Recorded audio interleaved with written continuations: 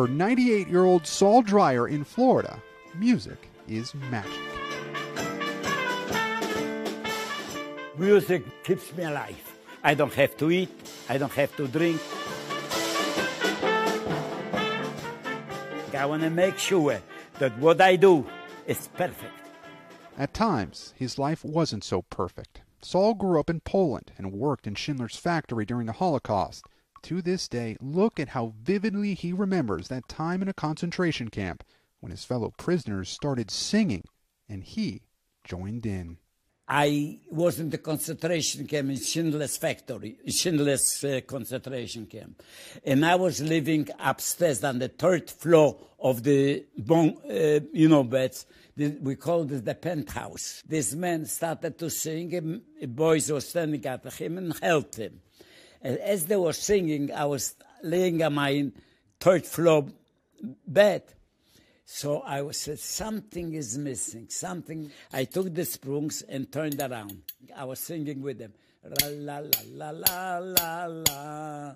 La la la la la la. That music kept him alive amid the horror. He lost around 25 family members, including his parents and sister. A lot of questions people ask me, Sal, how did you survive? So I said, I got all the answers for you, but I don't know how I survived. But he did and lived a full life. A loving wife, four kids, eight grandchildren, three great grandchildren. Just about perfect. Yet something was missing music. He decided to live out his dream and form a Holocaust survivor band. Two people told me I'm crazy my wife and my rabbi. But what's even crazier is that it worked. He's now played all around the country, even creating his own foundation.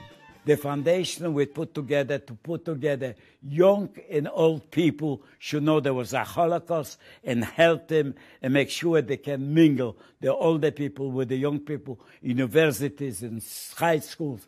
This is our aim.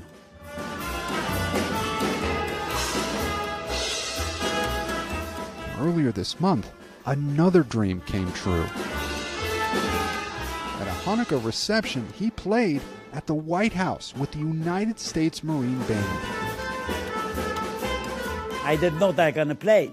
I went, I went upstairs as we going out, and I see our orchestra sitting. So the, the, my, guy, my escort, he said, Mr. Dreier, we're going to stop here. I says, why? You're going to see what? Unbelievable. I was going wild. I didn't, I, I didn't hear the music. I was just banging my drum. I, I have got no words. I was the most happy man in life. Here he is, meeting President Biden. Mr. Saul Dreier. I was crying in my in my heart. What are you talking about?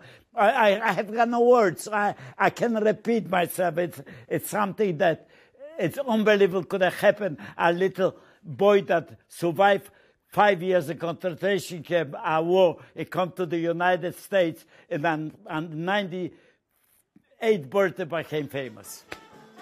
And in the White House. This impossible. This is a dream, more than a dream. I can explain what it is. Perfection.